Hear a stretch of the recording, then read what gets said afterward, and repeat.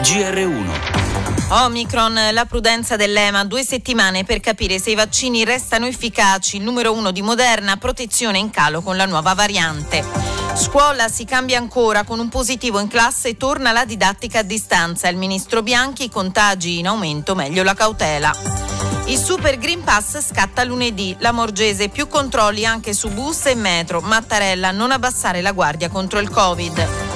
Corre l'inflazione più 3,8% a novembre ai massimi da 13 anni. Draghi pronti a un nuovo intervento contro il caro bollette.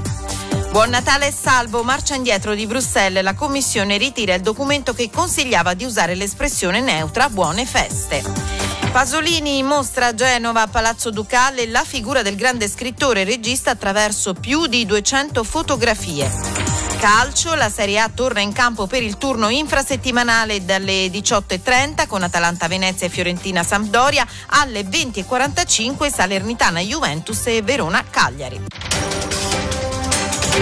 L'OMS sta lavorando con partner tecnici per comprendere il potenziale impatto di questa variante sulle nostre contromisure esistenti, compresi i vaccini che rimangono fondamentali per ridurre le malattie gravi e la morte. Così una nota d'aggiornamento dell'Organizzazione Mondiale della Sanità che ribadisce come, anche contro il virus circolante dominante, il Delta, i vaccini attuali rimangono il presidio più efficace contro la Covid. Questo nonostante in mattinata l'amministratore delegato di Moderna avesse a mezzo stampa manifestato più di qualche dubbio sull'efficacia dei vaccini attuali rispetto alle mutazioni della variante Omicron. L'OMS aggiunge che altri trattamenti saranno valutati per vedere se sono ancora altrettanto efficaci rispetto appunto alla nuova variante. E sui trattamenti antivirali si è espresso ai nostri microfoni anche il genetista Massimo Zollo, coordinatore della task force Covid-19 del Change. Per combattere un virus non c'è solo la porta d'ingresso, ma una volta che è entrato bisogna impedirgli di replicare se stesso. È il momento di insistere su questo aspetto perché il modo migliore per combatterlo probabilmente sarà quello di bloccare la sua replicazione in cellula. Mauro Zanda, GR1.